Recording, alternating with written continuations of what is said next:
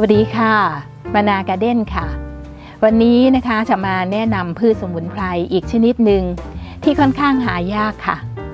ต้นไม้ชนิดนี้นะคะเป็นไม้ป่า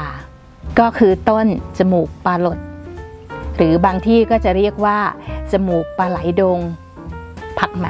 นะคะ ทางภาคเหนือเรียกว่าผักไหมนะคะพืชสมุนไพรชนิดนี้นะคะ ชอบขึ้นตามริมน้ำแล้วก็จะเป็นไม้เถาค่ะ เลื้อยขึ้นไปตามต้นไม้ใหญ่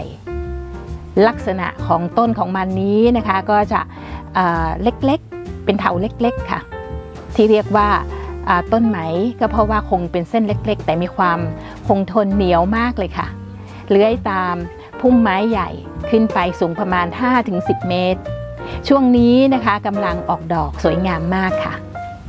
ลักษณะใบของมันนะคะ จะเป็นลักษณะใบแหลมๆยาว นะคะ แล้วก็จะมีดอกช่วงนี้นะคะ ดอกสวยมาก ลักษณะดอกของมันนั้นนะคะ ก็จะมีกลีบทั้งหมดอยู่ 5 กลีบ มีลักษณะคล้าย รูปดาว มีสีม่วงนะคะ แล้วก็เป็นแฉกๆสวยงามมากเลยค่ะ ช่อดอกของมันนั้นนะคะบางทีก็จะมี5ถึง9ดอกนะคะ ก็จะสวยงามมากเลยค่ะ ลักษณะลำต้นของมันนะคะ ชอบขึ้นตามริมน้ำ เป็นไม้ป่าที่ชอบขึ้นทั่วไปนะคะ มีแทบทุกภาคเลยค่ะ โดยเฉพาะป่าที่เป็นป่าเบญจพรรณหรือป่าดงดิบก็หาได้นะคะ พอดีที่สวนมานานั้นนะคะ เราเคยเอาดินมาจากภูเขาเอามาถมในสวน แล้วมันก็คงจะมีเมล็ดของมันเนี่ยนะคะ ติดมามันก็ขึ้นตามต้นไม้ใหญ่นะคะ เราก็ปล่อยให้มันขึ้น เพราะว่ามันมีสรรพคุณทางยาเยอะเลยค่ะ โดยเฉพาะใบและเถาของมันนั้นนะคะนำมาต้มแล้วก็กลั้วคอ แก้เจ็บคอค่ะ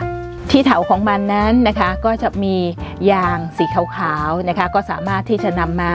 ล้างแผลรักษาแผลได้ค่ะ รากของต้นปลาหลดนี้นะคะนำมาต้มก็สามารถที่จะรักษาโรคดีซ่าน ตัวเหลืองได้ค่ะ ทั้งหมดของมันนะคะใบ ดอก เถา รากของมันทุกส่วนเลยค่ะ สามารถที่จะรักษาโรคมะเร็งได้ ยอดอ่อนดอกตูมนะคะ ก็สามารถนำมาเป็นอาหารได้นะคะ ก็เอามาจิ้มกับน้ำพริกกินกับลาบสดๆเลยค่ะ หรือทางภาคใต้นะคะก็จะเอามาหั่นแล้วก็เอาผสมกับข้าวยำส่วนภาคเหนือนั้นนะคะเราก็จะเอาดอกตุมของมันนั้นนะคะเอามาเอาผสมกับผักอื่นๆนะคะเอามาซ่าหรือยำผัก นะคะ ก็สามารถจะทานได้รสของมันก็จะเป็นรสเย็นนะคะมีขมนิดๆนะคะเป็นสมุนไพรที่สามารถนำมาปลูกแล้วก็เอามาเป็นไม้ประดับที่บ้านก็ได้ค่ะ การขยายพันธุ์จมูกปลาหลดนี้นะคะ ก็จะใช้ขยายพันธุ์โดยวิธีการปักชำแล้วก็เพาะเมล็ดนะคะ อันนี้เป็นลักษณะเมล็ดของมันนะคะ ก็จะ เป็นฝักอย่างนี้เมล็ดของมันนะคะ จะเป็นฝักลักษณะนี้ แต่ตอนนี้มันก็ยังเป็นเมล็ดอ่อนอยู่ เดี๋ยวเราจะมาดูข้างในกันนะคะว่ามีลักษณะเป็นยังไงค่ะนะคะตอนนี้ก็ยังไม่เห็นเมล็ดนะคะ ก็ถือว่าพืชชนิดนี้นะคะ เป็นพืชสมุนไพรที่มีประโยชน์มากค่ะ ชื่อว่าจมูกปลาหลดนะคะ ถ้าชอบคลิปนี้นะคะ กดไลค์ กดแชร์ และกดติดตามเพื่อเป็นกำลังใจให้กับมานาการ์เด้น ถ้ามีสิ่งดีๆ ก็จะนำมาเสนออีกนะคะ ขอบคุณค่ะที่ติดตามรับชม สวัสดีค่ะ